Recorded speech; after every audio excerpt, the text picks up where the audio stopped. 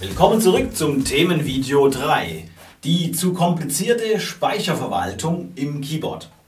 Tja, hier müssen wir auch wieder wie im Vorvideo stark differenzieren, wie das Keyboard gestrickt ist.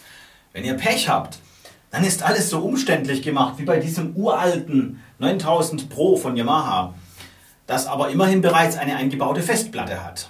Doch wer außer meiner einer benutzt heutzutage noch solch ein Fossil? Naja, deshalb lassen wir solch einen Härtefall einfach mal beiseite und wenn ihr nur den einfachsten Fall vor euch habt, sprich ein Einsteiger-Keyboard mit eher primitiven Speichermöglichkeiten, dann könnt ihr dieses Themenvideo wohl ebenso überspringen oder es euch trotzdem zur Berieselung reinziehen. Wenn ihr euch das also mal am Computer anschaut, dann seht ihr solch eine Dateiendung oder auch Suffix genannt immer direkt nach dem Dateinamen selbst. Wenn ihr ein MIDI-File abspeichert, also einen Song, dann wird die Dateiendung .meet oder .smf lauten. Bei einer modernen Yamaha Regist-Datei heißt sie eben .rgt oder bei kleineren Keyboards .usr. Und bei einer Style-Datei wird das Suffix in der Regel heutzutage bei Yamaha .sty lauten. Ausdrücklich sage ich gerade nochmals in der Regel und heutzutage und bei Yamaha dazu, weil sich manche Suffixes im Laufe der Zeit bereits verändert haben und nicht bei allen Herstellern gleich sind. Was auch gut ist, um ein ansonsten garantiertes... Ja, einerseits bringt uns die Sache mit diesen Suffixes ja eine wichtige Ordnung in die Sache, sodass wir, der Computer und das Keyboard, beispielsweise eine Songdatei, also ein MIDI-File mit dem Suffix .meet, nicht mit einer Registdatei mit dem Suffix .rgt verwechseln könnten. Denn nur allzu gerne, ihr seht es hier, verwendet man ja den Titel des Liedes für beide Dateitypen gleich. Careless Whisper als Registration, Careless Whisper als MIDI-File. Ich kann es euch auch ganz genau demonstrieren, dass es sich hier bei der Registdatei wirklich um eine RGT-Datei handelt. Schaut her, da steht Careless Whisper und hinten .rgt. Ja? Und beim Song, das kann ich euch auch zeigen,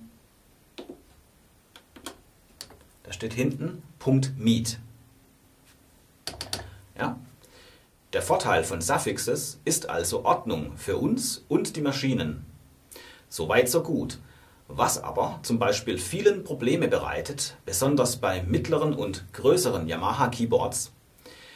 Wenn ich jetzt also so einen Song hier als Regist und als MIDI-File-Datei erzeuge und hier in den User-Speicher ablege, ja, hier bin ich ja jetzt drin im User-Speicher und wie gesagt mit demselben Namen, dann könnte ich unter Umständen verwirrt werden, wenn ich jetzt mal das Keyboard ausschalte, wieder einschalte und irgendwann mal später wieder diesen Song spielen möchte und dann mich in den User-Speicher hineinbegebe.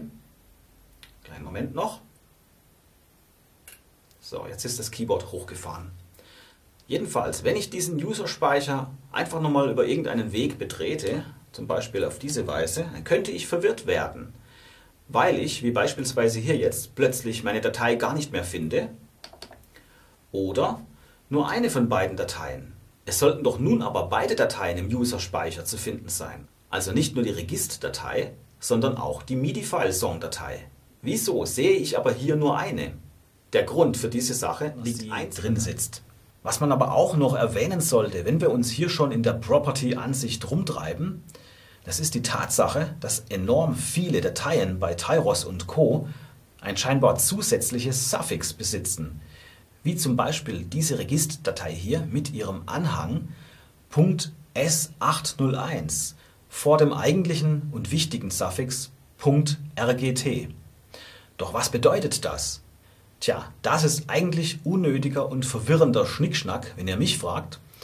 Denn damit ist lediglich das für diese Datei ausgewählte Bildchen, also Icon, gemeint. Ich zeige es euch. Wenn ihr hier eine Datei habt und geht auf Name, dann seht ihr links unten Icon und das sind einfach nur Bildchen, die ihr dieser Datei zuweisen könnt. Das sind Bildchen, die ihr dann einfach auch zum Beispiel im Hauptbildschirm hier seht. Hier meine Registerdatei, Careless Whisper, hat eben dieses kleine blaue Bildchen im Moment. Ich werde es jetzt mal ändern. Wie gesagt, gehe ich da auf Name,